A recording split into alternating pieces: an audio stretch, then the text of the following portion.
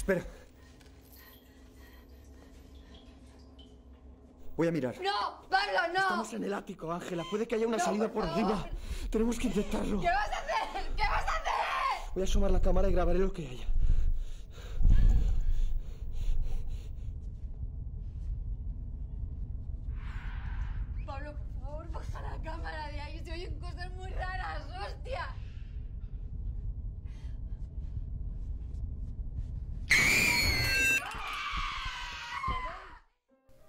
When you think of horror, what comes to mind?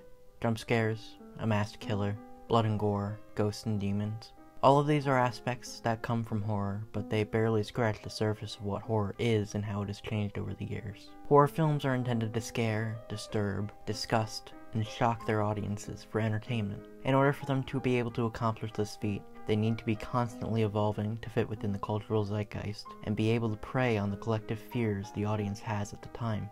Horror films let audiences face their worst nightmares with the safety of a screen between them and the danger. It is also one of the only genres that is allowed to examine the dark areas of human nature, the raw desires people have and the rage that they hold. They can break the taboos that constrain society. They can show the dangers of technology and the terrifying side effects of science when used incorrectly. Whereas film in general allows you to escape to a new world, horror lets you not only escape but become someone else. They provide a release to those who need it.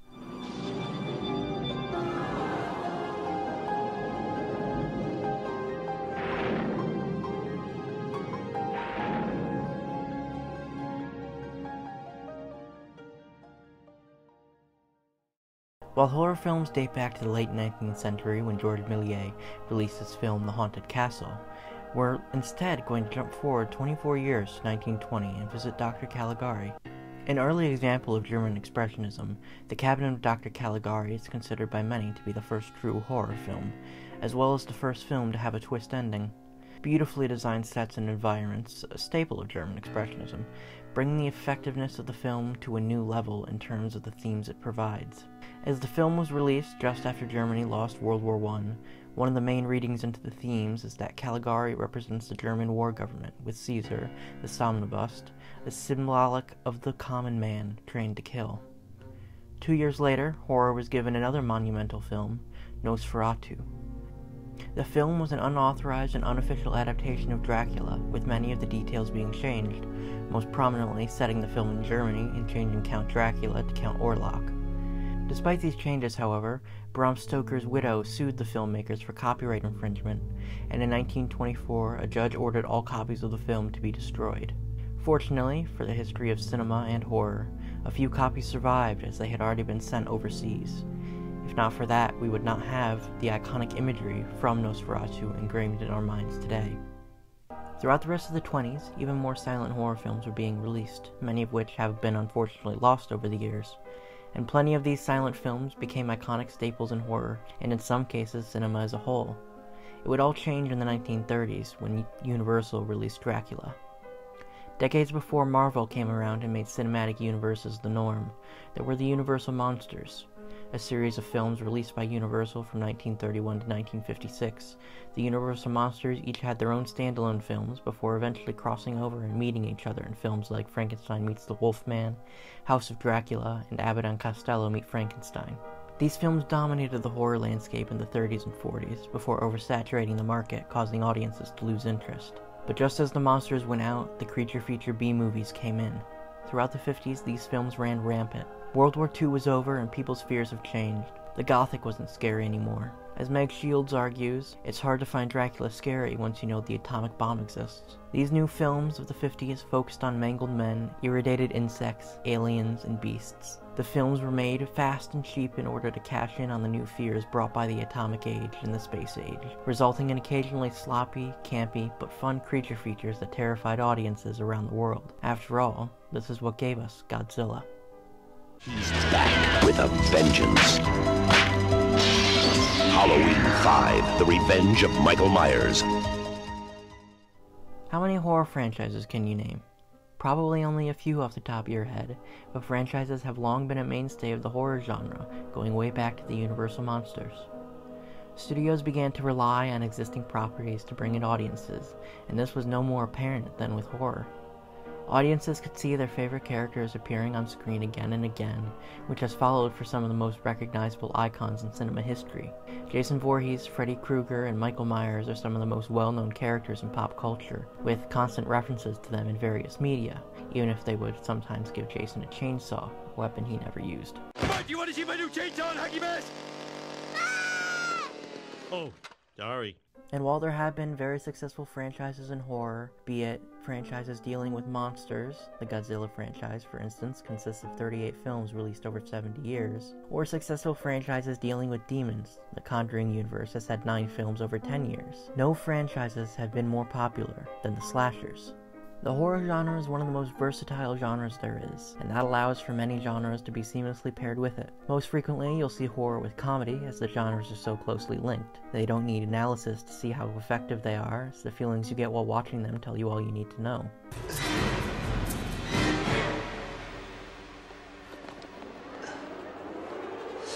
Rude fucking doll. Musical is also a surprising yet satisfying genre pairing with horror. There are a lot of horror musicals, both on screen and on stage, and the reason for that is despite the seemingly formulaic nature of both genres, they are some of the best genres for storytelling, and when all their tropes and strengths combine, they make for truly captivating results.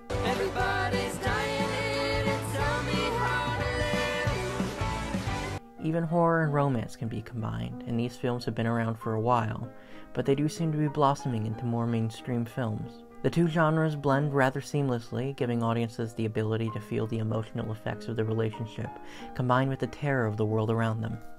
And within each genre, there are smaller and more specific genres called subgenres, and horror is probably the most prominent user of subgenres, as it's the best way to sort by the type of horror in the film. These subgenres include the most well known type of horror movie, the slasher, but they also include psychological, giallo, cosmic, found footage, and many more. The subgenres of horror have spawned from some interesting facets as well. Cosmic horror is derived from H.P. Lovecraft stories. Giallo spawned in Italian cinema and tends to be focused on crime and mystery. And found footage, which, while dating back as far as 1972 with the legend of Boggy Creek, the subgenre rose to greater prominence after films like The Blair Witch Project and Paranormal Activity came out. It, does not appear that there's any kind of a, an effort up there yet. Now remember, oh my God, Oh my God. My. That looks like a second plane. Terrible. As I just did not yet see a plane go in. On September 11, 2001, the horror genre would go through one of the most monumental periods of change it has ever experienced. Prior to this date, horror would frequently allow for hope to shine through.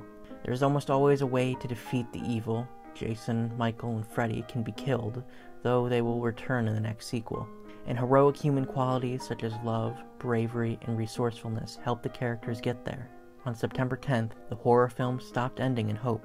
Now, nihilism, despair, random violence, and death, combined with images generated by the attacks, would gain far greater prominence. We now get films that show that evil will conquer all. Heroic human qualities won't save the day or even defeat the evil anymore. In films like Cloverfield, The Mist, Cabin Fever, The Strangers, and Paranormal Activity, there is no stepping off whole and unhurt. These films end in tragedy. Look at me! Look at me!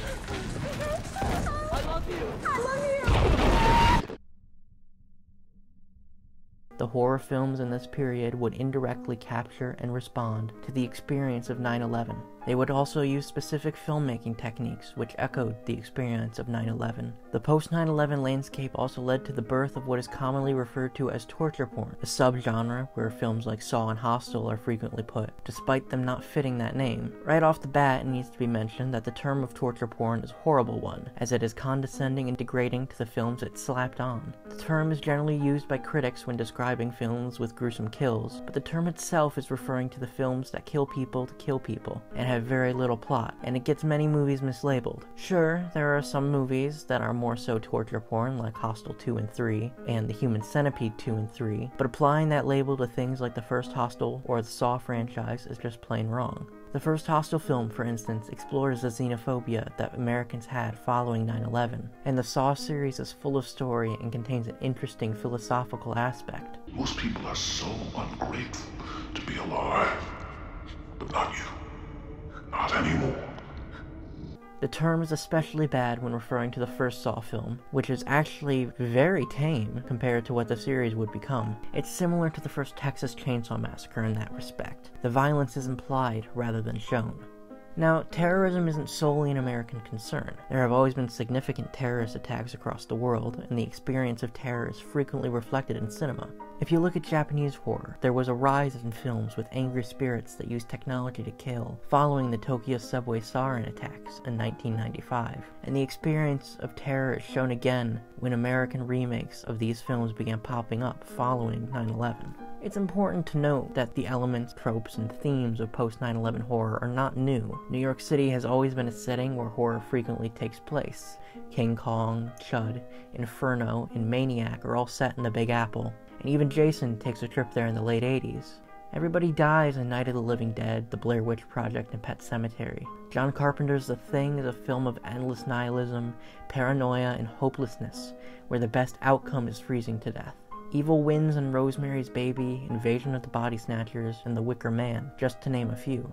So while post 9 11 horror didn't invent these things, the shift in society following the attacks was echoed in cinema, making these elements occur more frequently. Additionally, while there are horror comedies in the post 9 11 world, the violence is not playful or comedic. The remakes of Friday the 13th and A Nightmare on Elm Street removed the humor and playfulness that was so common in their later entries. The villains are made out to be real monsters that you don't want to root for.